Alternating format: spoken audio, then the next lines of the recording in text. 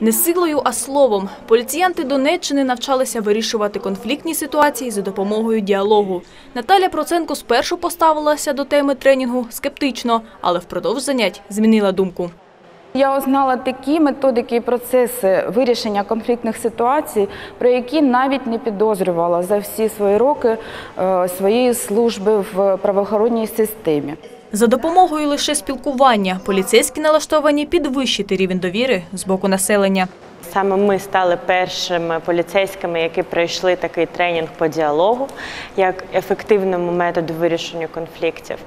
Е, Ми розраховуємо, що наприкінці року поліція Донеччини покаже найвищу оцінку з боку громадян. Правоохоронцям часто доводиться працювати в екстремальних умовах, нагадують спеціалісти. Тому передусім поліціянти опановують навички пошуку компромісів. Как себя вести в конфликте, как работать со своими эмоциями, как э, э, не поддаваться на различные манипуляции, провокации, как работать с агрессией.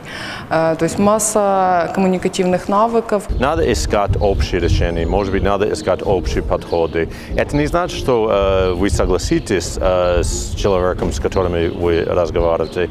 Наоборот, если есть два друзья, им, в принципе, не нужно вести диалог. То есть этот диалог нужен, когда есть какой-то конфликт.